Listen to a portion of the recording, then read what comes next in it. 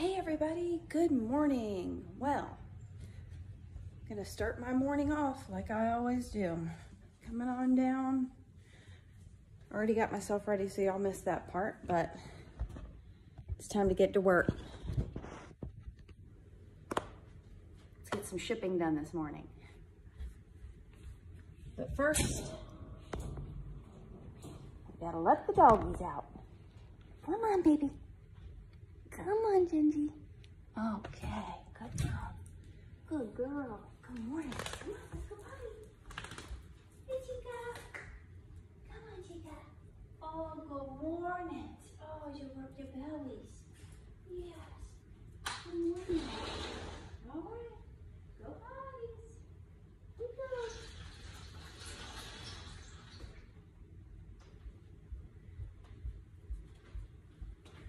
Done.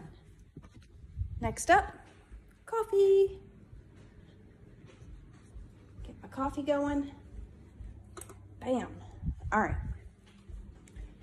Now what we want to do for the day, let's get our little computer going.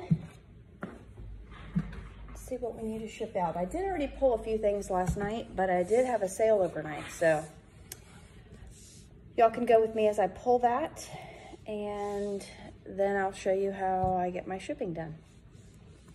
And for those of y'all who are new to seeing this video, which is probably a lot of you because I am a very new beginner to YouTube.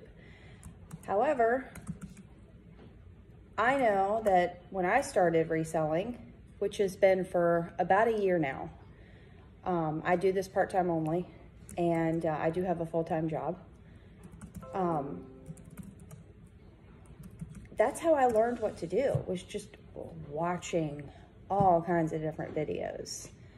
Uh, my go-tos were Rockstar Flipper, Rally Roots. Um, then I moved into Part-Time Picker and other ones that I've started watching recently have been Renzi. I'm really into the shoe game, as you'll see with a couple of my sales going out today. And then the other, there's another one that I really, there's another girl I really like to watch, but uh, I'm having a hard time remembering her name. She's just so, she's so pretty. She's got really long red hair. I mean, her hair is amazing. I mean, it's beautiful hair. What is her name? Um, dang. I'm going to have to tell you about it later. I can't remember. I did end up finding this girl that kind of lives in my area too. Um, I I don't know where I haven't met her, but her, uh, she goes by Bob's, Bob Sells, Bob Sells, I think. I think her name is Heroin Bob. Um, so I'm like really hoping that maybe one day when I'm out and out and about at my local um, thrifts, because that's typically where I buy my stuff. I go to thrift stores, um, consignment stores, garage sales, friends and family that are getting rid of stuff. You know, I'm always telling people, hey, don't, I mean, if you want to donate your stuff for the cause, absolutely. But if you don't really care where your stuff goes. I'll take it. Um, and if I can't use it, then I'll donate it, you know. That way they know at least it's still going for a purpose, either for me and my family. I have two kids, 14 and 7.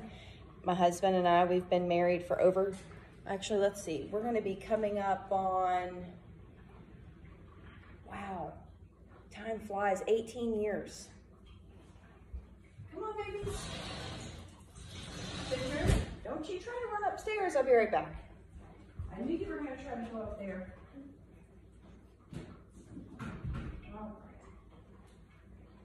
Okay. Here's your stuff. I'm going to get to have yours out here.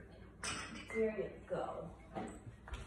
Um, I'm not sure what's going on with my computer this morning. I apologize for that. So, all right, let me get going here. Um, but anyways, my name is Marcy, and I have I have not really decided what my go-to name is going to be. I always really wanted it to be Gold Diggers, not gold like gold diggers. Um, so I'm gonna have to look into that a little more. I think there's a few people that have it already, um, but I've I I got this gold digger shirt years ago, and it was kind of always my go-to tank top in the summertime, you know.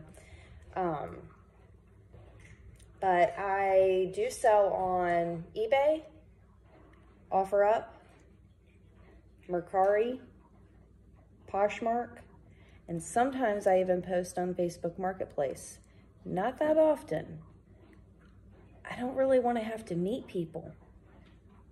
Um, I don't know, for safety reasons, I like to be able to just put it online, they purchase it, and I can package that baby up and ship it out, you know? And it's not that I don't like meeting people, but sometimes it can be unsafe for me, especially if I have my daughter with me.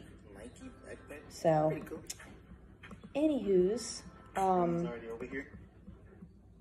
eBay, here we go. So I'm to log into my eBay. I think I, that's where all my sales that I'm shipping out this morning came from, except for one. But I, so when you sell on OfferUp, I don't sell a whole lot on OfferUp, but I had started OfferUp, like when I first started a year ago, I created the Mercari, I created a Mercari account, an OfferUp account, and the eBay account. And primarily I have all of them on eBay. Now I only, I was only hanging around the 100 item mark, like items listed around a 100 on eBay. Um, I recently have really wanted to get in the grind, which is another reason that I figured, hey, why don't I just go on and start documenting what I'm doing, what kind of things I'm selling, because I feel like that's what most people are looking for. In different areas um, of the U.S., I mean, we all kind of find similar items, but people like to know what's going on on the West Coast and the East Coast, and I am on the East Coast. So, um, you know, I just want to share some of what I'm able to find and what's selling for me, and especially any new re resellers out there. Hopefully, this will give you some ideas on what you can look for when you're out at the store because it's very overwhelming at first. You're like, what the heck do I look for? Well, I've definitely made some not so great buys. I also have tons of money piles. Some people call them death piles. Some people call them money piles. I'm trying to stay positive. Um, do I keep going out and shopping? Yes, and you will find you probably do too. Once you get going, it's awesome. Um, so let's just see what items I need to look for. All right, logging in. Do, do, do. This is the, well, I probably shouldn't show the name. The label for OfferUp.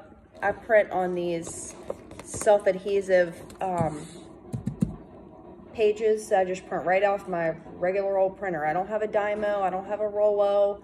I know those are some of the things that a lot of the um, full-time full-time or part-time sellers use. I just haven't bought one yet because my little, what is it? I think it's a Lexmark printer has is doing just fine. And I bought like the eight, the eight by 10 um, laminated or self-sealing sheets and it's got two labels on each sheet. So actually what happens when I print it out, it prints the label on one half and then the other half, it gives me the details of the order.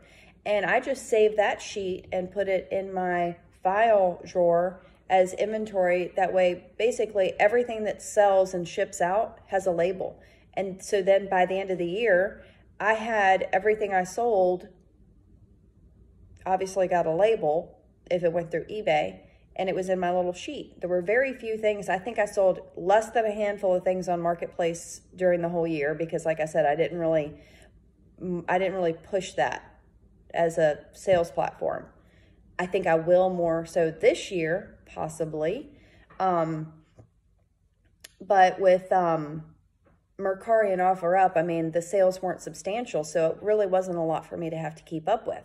So just that's something to really keep in mind too. You should try to give yourself like a weekly plan on how to keep track of what is sold because if you don't month after month, it's going to just pile up on you and you're going to be like, uh, how much have I sold? How much have I made? Do I need, you know, making sure you're putting some to the side for taxes. Anywho, um, so my items I sold today, I did put, I'm, I'm looking at them now. I've got one, one, two, three. I already pulled last night. I have one more pair of shoes I need to go pull.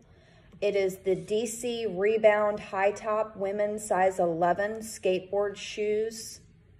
Okay? So let's go pull that. You can come along with me.